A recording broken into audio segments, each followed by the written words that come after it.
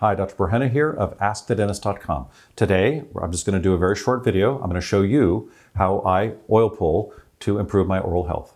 So first, I just use an organic virgin coconut oil. Uh, it comes in a hard state, uh, semi-hard state.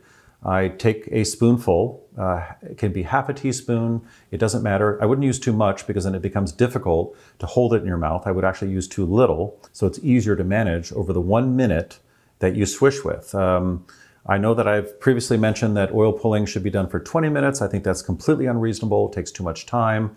And uh, coconut oil is slightly uh, bactericidal. So I think 20 minutes is actually too long. So I just take a half teaspoon or a teaspoon, I put it in my mouth, I let it melt. That may take some time.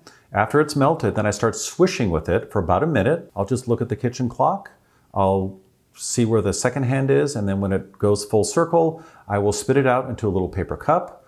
Uh, you don't want to spit into the sink or because uh, it'll clog your sink. It, it could solidify again uh, at room temperature, and that could cause problems. So I spit into a paper cup, and I throw the paper cup away. It's that simple.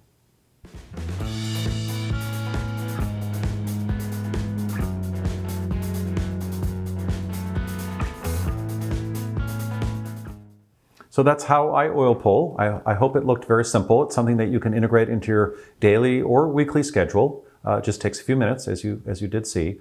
Um, if you have any comments or questions, uh, please leave them below and uh, look forward to seeing you in the next video. Thanks for watching.